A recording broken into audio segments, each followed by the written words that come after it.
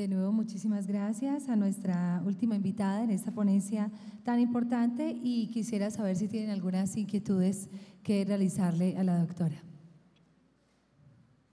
¿Alguien se desea participar? El informe que ustedes, o mejor, el, digamos es una encuesta eh, que queremos porque esto nos permite evaluar también cómo, cómo nos fue precisamente en el Congreso y definir también algunos aspectos. Esperamos que por favor nos ayuden llenando la encuesta y allí afuera en el hall, cuando nos entreguemos las certificaciones, vamos a estar recibiéndolas en el momento entonces antes de partir. Adelante.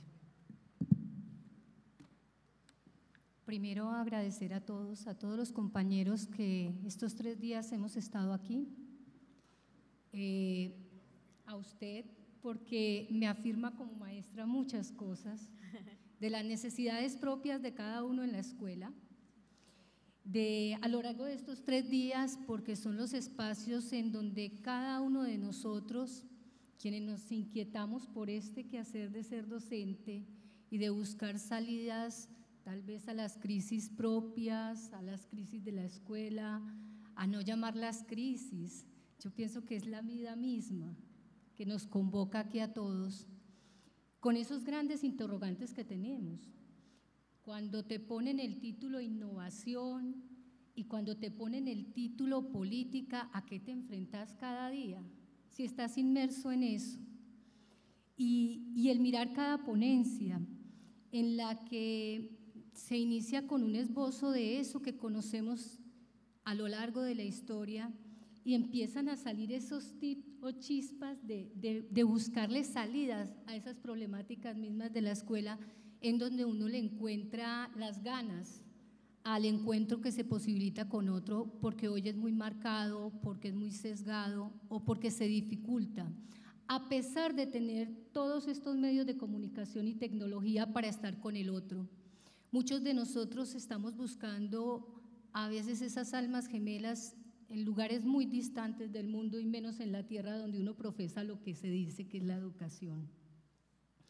De eso entonces es muy bonito escuchar a alguien que ha pensado como uno en ese ecosistema humano, de pensar que esa virtualidad tiene otras, otras aristas y seguir siendo humanos no a través de una máquina, sino a través de la conversación con el otro el encontrar esas posibilidades de dejar el egoísmo que nos ha marcado mucho a nosotros y que en la escuela se vive también cotidianamente, no solo entre los estudiantes, sino entre nosotros mismos, y buscar convergencias para decir estamos vivos y esta escuela la hacemos nosotros a diario, eh, para encontrar en esa cultura las ganas de seguir viviendo a pesar de la adversidad y para buscar, buscar eso que nosotros llamamos innovación, que pienso que está sentado en cada uno de nosotros ahí, porque de una manera u otra hemos tenido en lugares lejanos, sea lo rural o lo urbano, que buscar la manera de llegar a esas personas, de llegar a nosotros mismos y a cada uno de nuestros compañeros. Hay un, un interrogante que se da también, porque muchos de nosotros hacemos llegar ese conocimiento a través de la música, a través del arte, de la obra, del dibujo, del gráfico, porque nos es más favorable, porque nos es eh, algo que sale dentro de nosotros y que es mágico. Y tenemos un ejemplo de ello con el Nobel de Literatura, ¿cierto? Quien hace unas letras que son maravillosas y que se pueden poner en escena pues en la escuela y en la cotidianidad de nuestras vidas. Por ejemplo, ¿cuántos caminos debe recorrer un hombre antes de que se le llame hombre? Lo hemos visto en este recorrido de encuentro, con todo ese historial que traemos para la pedagogía y para buscar una escuela mejor, sea en el preescolar, la básica, la media, la secundaria, la universidad, es encontrar un camino de encuentro para todos nosotros. ¿Cuántos mares debe buscar una paloma blanca antes de dormir en la arena? ¿Cuántas veces deben volar las balas de cañón antes de ser prohibidas para siempre? La respuesta como él lo dice, está en el viento o está en cada uno de nosotros. Y de ahí la gana de seguir siendo maestro en cualquier lugar de nuestro país y de seguir compañeros buscando el cambio, pero ese cambio con ganas, no de pelear con el otro, sino de que usted tiene algo que a mí me puede aportar y que yo le puedo aportar a usted. Por eso les agradezco este espacio y a todos los compañeros que están buscando que haya ese cambio para nosotros y la posibilidad de que los maestros en cualquier rincón y en este momento en Sabaneta nos eduquemos, a no desaprovechar eso, porque a muchos nos ha tocado luchar muchísimo, porque hay tanta desigualdad que tenemos que hacer miles de cosas para lograr educarnos. Y eso es maravilloso, porque uno siente la gana y sabe que en ese momento la vida de uno vale. Muchas gracias.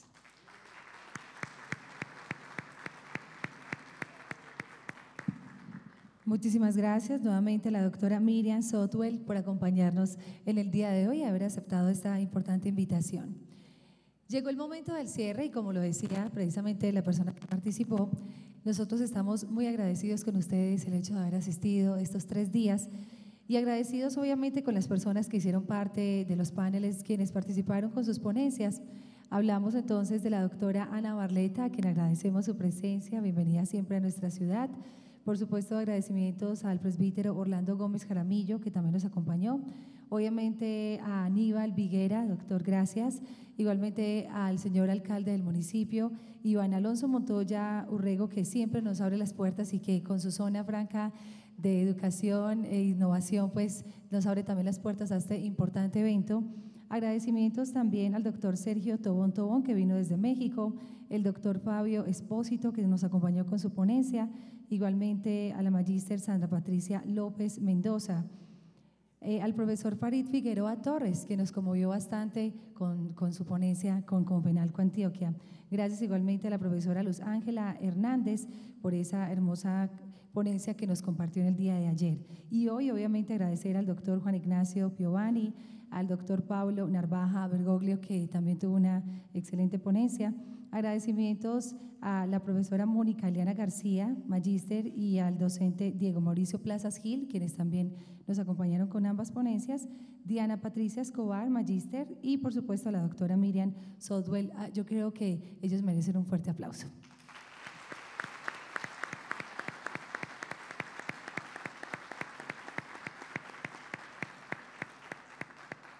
Y es que este evento fue posible gracias a su asistencia y también gracias a esa alianza importante que realizamos con la Universidad Nacional de La Plata, Argentina, la Corporación para la Educación y el Desarrollo de América Latina y el Caribe, CEDALC, y por supuesto a la Alcaldía Municipal de Sabaneta. Para el cierre queremos invitar a la Secretaria de Educación y Cultura del municipio de Sabaneta, la doctora Julie Paola Quintero Londoño, quien está en representación del señor alcalde Iván Alonso Montoya Orrego, que les envía un saludo muy especial a todos.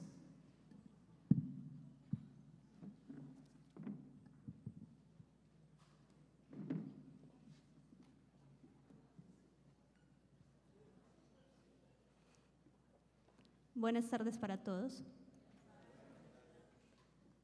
Bueno, ya dando un cierre. El alcalde Iván Alonso se excusa por no poder estar en este momento con nosotros, pero nos envía su mensaje. Es para el alcalde una gran alegría saludar en esta tarde de clausura a todos los invitados y asistentes nacionales e internacionales que durante estos tres días nos han acompañado en el Congreso de Política e Innovación Educativa en América Latina, evento que propicia el encuentro de nuestra academia local con la academia regional e internacional para aprender conjuntamente nuevas formas de pensar y enseñar. Desde hace muchos años hemos evidenciado la importancia de la educación como fuente de conocimiento para millones de personas alrededor del mundo. La mayoría de países entienden el beneficio que genera implementar procesos que fomenten avances en el conocimiento de la población. Encontrar la forma de desarrollar un país no es fácil. Sin duda alguna, la educación es la principal herramienta para salir adelante en el progreso de los pueblos. Es por ello que desde la Administración Municipal y apostándole al concepto de aldea global, manejado por Mac Luan, en donde es posible integrar a miles de personas en un mismo lugar a través de diferentes estrategias, se pretende desde Sabaneta crear un escenario en donde la educación sea un referente, aprovechando los avances tecnológicos y las facilidades para acceder a programas de formación. Por ello, la apuesta por un territorio educativo será una realidad y albergará cientos de programas académicos que, que, permitirán la visita de personas de todos los lugares del mundo, pensando en su formación. Este Congreso de Política e Innovación Educativa en América Latina es uno de los primeros pasos hacia la consolidación de nuestra zona franca de educación e innovación. Y tras estas jornadas de formación y conocimiento, Quiero agradecer a cada uno de los ponentes que nos acompañaron en este escenario, permitiendo a los asistentes abrir su mente y ampliar su conocimiento frente a este nuevo horizonte. Para la educación en América Latina, fortaleciendo nuestras capacidades como líderes educadores para enfrentar los retos que se nos presentan como sociedad. Agradecemos a la doctora Ana Barleta por impartirnos conocimientos sobre las tensiones y los desafíos en la construcción de políticas de memoria desde la universidad. Al presbítero Orlando Gómez, quien nos habló sobre la virtualidad como herramienta de la democratización y masificación de la educación, y al doctor Aníbal Villegas por su ponencia sobre la función social de la universidad y el rol de las ciencias sociales. Asimismo, agradecemos al doctor Sergio Tobón Tobón, quien nos habló sobre innovación en los modelos educativos, al doctor Fabio Espósito y su intervención sobre la integración educativa entre Argentina y Colombia, a Sandra Patricia López Mendoza, quien presentó la ponencia titulada La educación de los excluidos. Una carrera que no avisó la meta próxima, al profesor Farid Figueroa Torres hizo ponencia sobre la educación de adultos, retos y oportunidades, y a la profesora Luz Ángela Hernández por su intervención La Escuela, un ecosistema de innovación social. Agradezco también a los ponentes que nos acompañaron en este último día del Congreso. Doctor Juan Ignacio, por su ponencia debate sobre la evaluación de la investigación y la educación superior en América Latina. Al doctor Pablo Narvaja, quien nos habló sobre resistencias al cambio en la educación escolar, a Mónica Eliana García y a Diego Mauricio Plazas por su ponencia sobre educación superior en Colombia y neoliberalismo, a Diana Patricia Escobar por su intervención sobre la aplicación de las TIC en el aula de clase, y a la doctora Miriam, última ponente que habló sobre debates para una educación inclusiva en América Latina, en la búsqueda de nuevas perspectivas. De igual forma, esta es la oportunidad para agradecer a cada una de las personas que hicieron posible el desarrollo de este evento académico.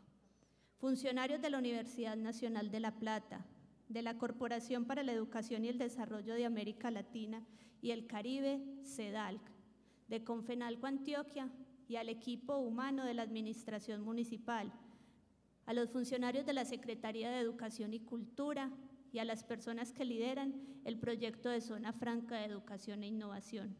A todos ustedes, gracias por acogerse a esta invitación y a ser parte de este proceso académico que nos invita a reflexionar sobre la educación en América Latina y el reto que nos impone la innovación y la aplicación de las nuevas tecnologías para acceder al conocimiento a una mayor cantidad de población y romper con el modelo educativo tradicional a través de experiencias capaces de inspirar a otros profesionales a continuar con la labor de enseñanza y las entidades gubernamentales para seguir apoyando la misma. Ha sido para nuestro alcalde un honor conocerlos y espera se lleven el mejor recuerdo de nuestro vallecito de encanto y de nuestra comunidad que estará siempre dispuesta a recibirlos con los brazos abiertos, sin dejar también de agradecer por parte de la Secretaría de Educación y Cultura del municipio de Sabaneta. Muchas gracias a todos.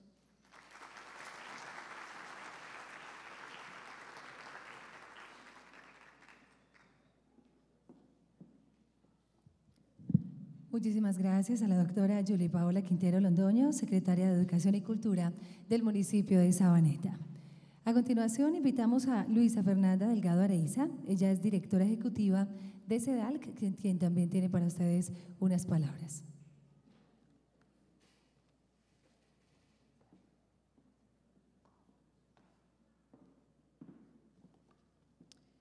Buenas tardes. El impacto de la innovación va más allá de una necesidad de carácter, metodológico y debe llevar a, las modificaciones en las políticas educativas de América Latina, ya que es preciso contextualizar la educación en el tiempo, dando cabida a otras formas de enseñar y aprender, entendiendo que el éxito no depende exclusivamente de la innovación, mucho menos si ésta se reduce únicamente a estrategias tecnológicas. Los cambios en la política educativa constituyen un elemento muy importante que implica la obligatoriedad de las transformaciones en el aula, aunque también puede verse como la consecuencia de la innovación en el quehacer pedagógico.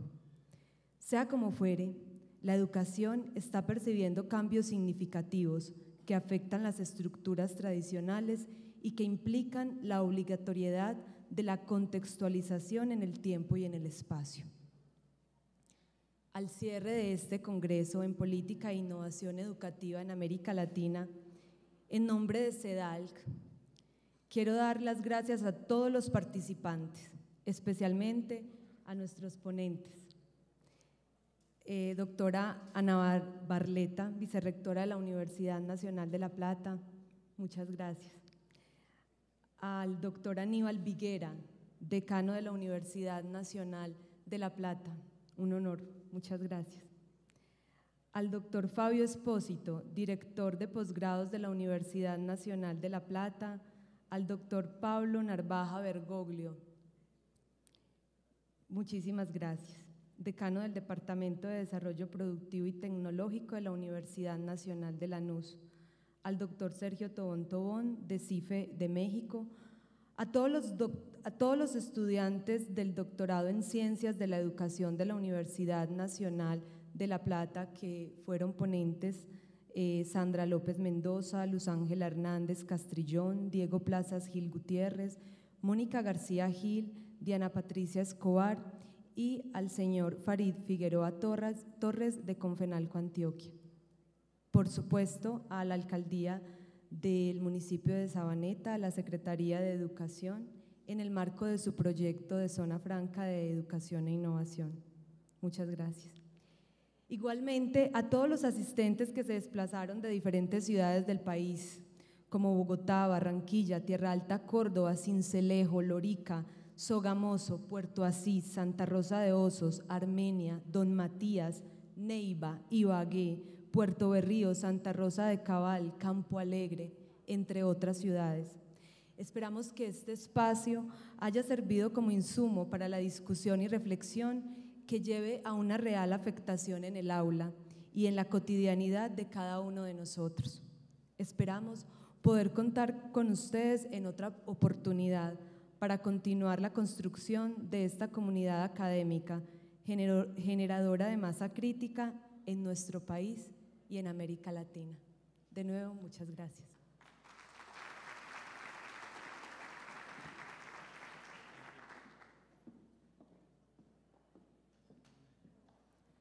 Muchísimas gracias a la doctora Luisa Fernanda Delgado Areiza, directora ejecutiva de CEDALC, por sus palabras. Le recordamos que en el hall les estaremos entregando los certificados y ustedes, por favor, nos entregan las encuestas. Esperamos que haya sido eh, del agrado de todos ustedes. Para quienes están preguntando por las memorias, se las haremos llegar a su correo personal, incluyendo los links para eh, los videos de YouTube que gracias a nuestros amigos de Med Streaming tuvimos pues este cubrimiento de los tres días, la grabación de todas las ponencias. Diego, Federico y Laura, muchas gracias por su apoyo. Agradecimientos a los funcionarios de la Administración Municipal de Sabaneta y a todos los asistentes a este importante congreso. El primero, esperamos que el próximo año llegue el segundo. Congreso, Política e Innovación Educativa en América Latina. Para todos, muchas gracias. Igualmente al doctor Rodrigo López Mesa, gerente de la Corporación para la Educación y el Desarrollo de América Latina y el Caribe, CEDALC. A ustedes un feliz regreso a casa. Dios les bendiga. Hasta pronto.